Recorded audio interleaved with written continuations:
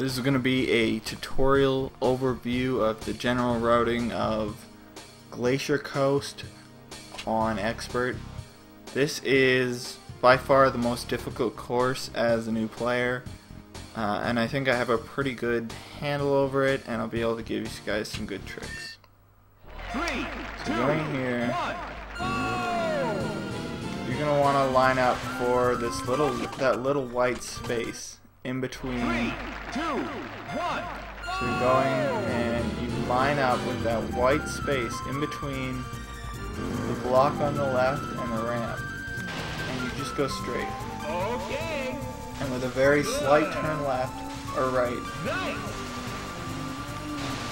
that whole section starts as a very gradual right turn and becomes more and more What happened? um, intense as you go through the turn. So you go right, right, and then a very sharp right there, or, or a much sharper right. This corner is the most difficult part of this level for new players and can easily lose you lots and lots of time. I'm going to teach you an easy way to get through it um, and the, some of the theory behind it. So sharp turn so you avoid going off of the ramp into the wall. Going into this next corner, you're going to want to turn wide left here. This is what you see the CPUs do. Um, the CPUs are actually pretty decent at this course compared to new human runners. Uh, they know the secret to go right, uh, left here. So you go left, and then you can turn hard right into it. And that really wasn't that bad of a run, or of a, a. I accidentally selected the wrong, um, item, so. Three, two, one. If you're uh, wanting to go a little bit faster than that through that corner, uh, you can take a little bit more of a riskier strat. And that's by going down this corner and just making a very tight, uh, sharp right, and then a sharp, uh, or a sharp left, and then a sharp right. Going through this next section, you must turn left after that red buoy and you, you must uh, be set up in a way from the turn so that you can do it without slamming into this ice block that's right in front of me right now. Going left here avoids, uh, you're going to be skipping this red buoy coming up here because it makes you go off the ramp. And going off the ramp loses you a significant amount of time in this course.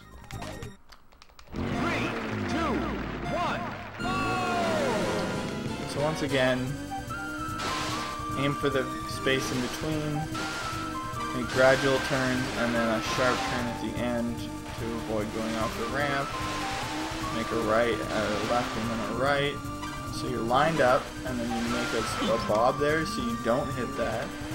Go past the red buoy there, Three, two, one. so you don't have to go off the ramp. The ramp will lose you a lot of time.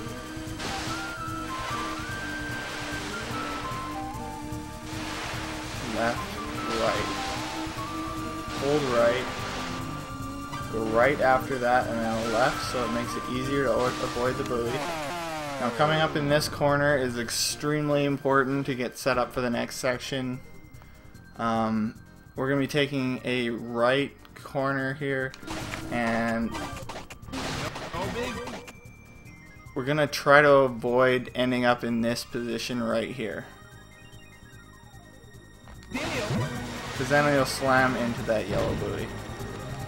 Slamming into that yellow buoy um, will either have you miss it or you'll screw up the line for this next section, which can make it not only um, slow but also difficult to complete this level with three laps and skipping that red buoy. So you go right around the yellow buoy and try and remain um, straight through that section as you're going over the ice. Just like in a large wave section where you don't have very good control over your turning, uh, when you're going over ice you have uh, very little control over your turning as well. And that's why we set up the turn, uh, the corner on the previous corner, the ice corner.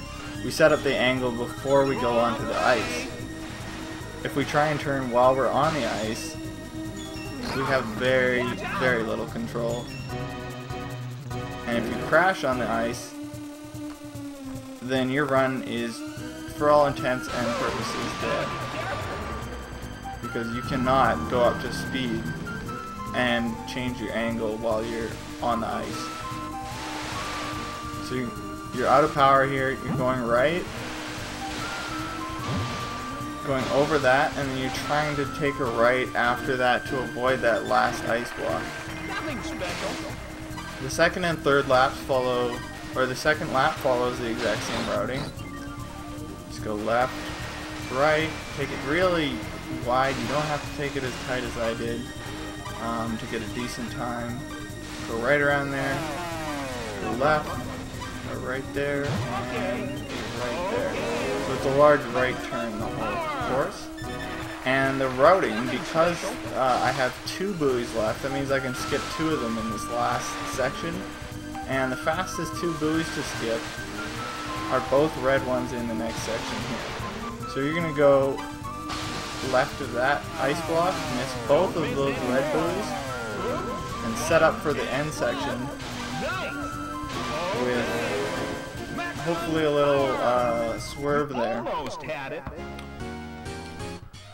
That's going to be my overview of Glacier Coast. This is a very difficult level, so let me know uh, the difficulties you're having with it in the comment section below so I may further help you. Uh, thank you for your time and take care.